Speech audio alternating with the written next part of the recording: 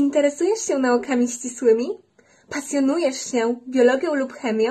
W przyszłości planujesz studiować medycynę? Jeśli odpowiedziałeś tak na chociaż jedno z tych pytań, profil biologiczno-chemiczno-matematyczny w pierwszym liceum ogólnokształcącym w Oleśnicy stoi przed Tobą otworem. Rozszerzona chemia, biologia i matematyka to nie wszystko.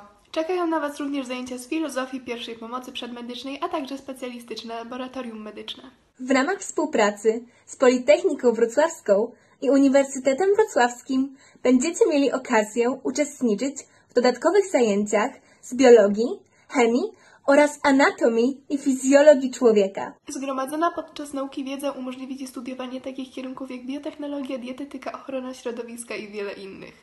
Nie czekajcie! Profil biologiczno-chemiczno-matematyczny w pierwszym liceum ogólnokształcącym w Oleśnicy stoi przed Wami otworem.